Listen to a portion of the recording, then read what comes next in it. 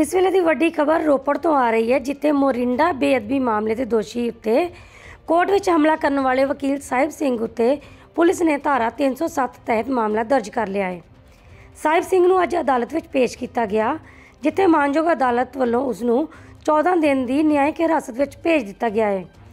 ਇਸ ਦੌਰਾਨ ਸਾਹਿਬ ਸਿੰਘ ਦੇ ਹਮਾਇਤੀਆਂ ਨੇ ਅਦਾਲਤ ਦੇ ਬਾਹਰ ਉਸ ਨੂੰ ਬਰੀ ਕਰਨ ਦੀ ਮੰਗ ਨੂੰ ਲੈ ਕੇ ਨਾਅਰੇਬਾਜ਼ੀ ਵੀ ਕੀਤੀ। ਭਾਈ ਸਾਹਿਬ ਸਿੰਘ ਜੀ ਜਿੰਦਾਬਾਦ। ਭਾਈ ਸਾਹਿਬ ਸਿੰਘ ਨੂੰ ਰਿਹਾ ਕਰੋ।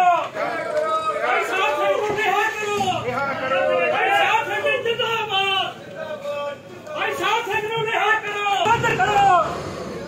ਭਾਈ ਸਾਹਿਬ ਸਿੰਘ ਨੂੰ ਰਿਹਾ ਕਰੋ। ਭਾਈ ਸਾਹਿਬ ਸਿੰਘ ਨੂੰ ਰਿਹਾ ਕਰੋ। ਦੱਸ ਦਈਏ ਕਿ ਬੀਤੇ ਦਿਨੀ ਇਤਿਹਾਸਿਕ ਗੁਰਦੁਆਰਾ ਕੋਤਵਾਲੀ ਸਾਹਿਬ ਵਿੱਚ ਜਸਬੀਰ ਸਿੰਘ ਨਾਂ ਦੇ ਵਿਅਕਤੀ ਨੇ ਬੇਅਦਬੀ ਦੀ ਘਟਨਾ ਨੂੰ ਅੰਜਾਮ ਦਿੱਤਾ ਸੀ।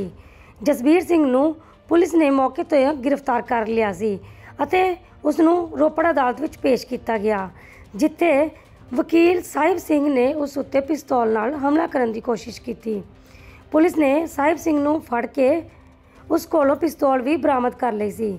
ਪੁਲਿਸ ਨੇ ਵਕੀਲ ਸਾਹਿਬ ਸਿੰਘ ਉੱਤੇ ਇਰਾਦਾ ਕਤਲ ਦੀ ਧਾਰਾ 307 ਲਗਾ ਕੇ ਮਾਮਲਾ ਦਰਜ ਕਰ ਲਿਆ ਸੀ। ਅੱਜ ਉਸ ਨੂੰ ਅਦਾਲਤ ਵਿੱਚ ਪੇਸ਼ ਕੀਤਾ ਗਿਆ ਅਤੇ ਇੱਕ ਦਿਨ ਦਾ ਪੁਲਿਸ ਰਿਮਾਂਡ ਮੰਗਿਆ ਗਿਆ। ਪਰ ਅਦਾਲਤ ਨੇ ਸਾਹਿਬ ਸਿੰਘ ਨੂੰ 14 ਦਿਨ ਦੀ ਨਿਆਇਕ ਹਿਰਾਸਤ ਵਿੱਚ ਜੇਲ੍ਹ ਭੇਜ ਦਿੱਤਾ ਹੈ।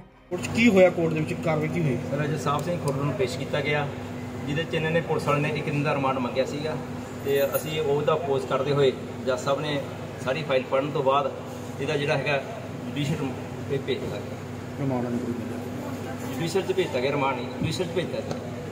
ਹੋਰ ਕੀ ਗੱਲਬਾਤ ਕੁਝ ਖਾਸ ਹੋਈ ਹੋਰ ਕੋਈ ਖਾਸ ਗੱਲਬਾਤ ਨਹੀਂ ਹੋਈ ਹੈ ਕਿ ਉਸ ਤੋਂ ਇਲਾਵਾ ਤਾਂ ਕੋਈ ਉਹ ਨਹੀਂ ਵੀ 14 ਦਿਨ ਬਾਅਦ ਡੇਟ ਲੱਗੀ ਆ ਉਸ ਤੋਂ ਬਾਅਦ ਉਸਨੇ ਕਿਹਾ ਵੀ ਤਫਤੀਸ਼ ਪੂਰੀ ਹੈ ਸਾਡੀ।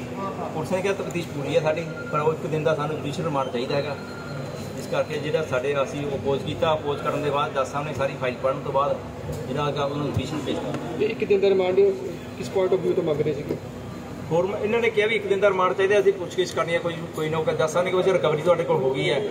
ਇਹਨੇ ਕਿਹਾ ਰਿਕਵਰੀ ਹੋ ਗਈ ਵੀ ਸਾਡੇ ਕੋਲ ਹੋਰ ਕੀ ਕਹਿੰਦੇ ਹੋਰ ਕੀ ਕਰਨਾ ਤੁਸੀਂ ਪੁੱਛ ਕੇ ਜੀ ਪੁੱਤੇ ਹੋਰ ਤਾਂ ਕੋਈ ਇਦਾਂ ਦੀ ਗੱਲਬਾਤ ਨਹੀਂ ਹੈ ਕਿ ਕਹਿੰਦੇ ਨਹੀਂ ਹੈ ਇਦਾਂ ਦੀ ਕੋਈ ਗੱਲਬਾਤ ਨਹੀਂ ਹੈ ਕਿ ਇਸ ਕਰਕੇ ਇਹ ਪੁਲਿਸ ਵਿੱਚ ਭੇਜਿਆ ਗਿਆ। ਠੀਕ ਹੈ ਰੂਪਨਗਰ ਤੋਂ ਗੁਰਮੀਤ ਸਿੰਘ ਦਰਸ਼ਨ ਟੀਵੀ।